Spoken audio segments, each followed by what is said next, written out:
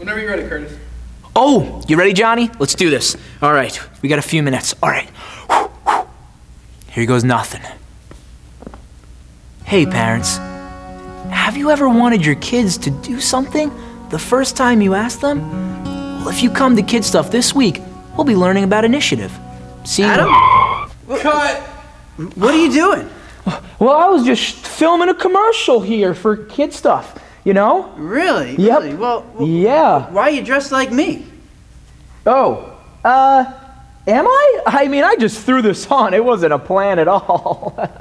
Come on. All right, you got me. You see, if I act like you and, and dress like you and, and everything, people will listen to me because, I mean, you're a pastor and people listen to you all the time. But they don't listen to what I have to say, so if I become more like you, then, I, then people might listen to me. But Adam, Adam, listen. People aren't going to listen to you because you're like me. People listen to you because you're you. Because God wants you to become who He created you to be, not who He created me to be. Oh. But this is perfect timing because this month at Kidstuf, we're learning about uniqueness, learning more about others so you can know more about yourself. Oh, wow, man.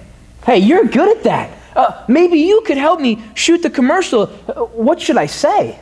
Well, let's try it together. How about something like this? Okay.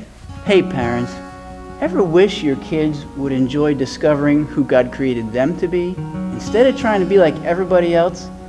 Join us this Wednesday for Kidstuf, where we learn about uniqueness. It's time for us to get to know God better so we can get to know who He made us to be. Be there. Dude, that was awesome, man. Hey, let's go grab a bite to eat. I'm starving, man. Hey, but you're paying. Let's go, man. Come on.